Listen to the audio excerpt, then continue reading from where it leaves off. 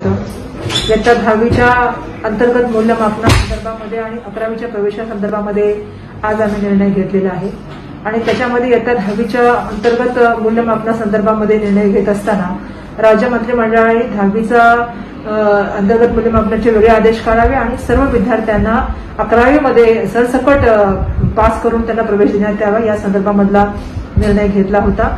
आणि त्यानुसार आपण दहावीच्या अंतर्गत मूल्यमापनाचे मार्क देत असताना नववी इयत्तेचे जे मार्क होते त्यांना आपण पन्नास टक्के विषय निहाय जे आहे ते वेटेज दिलेलं आहे. आणि दहावीचे जे अंतर्गत परीक्षा झाल्या आहेत त्यांना आपण तीस टक्के वेटेज आणि तोंडी किंवा होम असाइनमेंट किंवा प्रॅक्टिकल एक्झामिनेशन यांना वीस टक्के असं पन्नास टक्के दहावीच्या मार्कांना आपण अंतर्गत जे आहे ते वेटेज दिलेले आहे.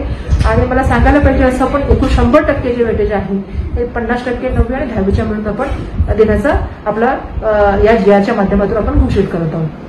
मला सांगायला पाहिजे की नववीचा आणि जो रिझल्ट आहे हा कोविडच्या पूर्वी म्हणजे जी परिस्थिती होती त्याच्यामध्ये घेतलेली म्हणजे ऍक्च्युअल रिझल्ट असा आहे त्यामुळे तो रॅशनल आहे कारण तो सरळ मध्ये सुद्धा सोलर प्रणालीमध्ये सुद्धा त्याची नोंद आहे.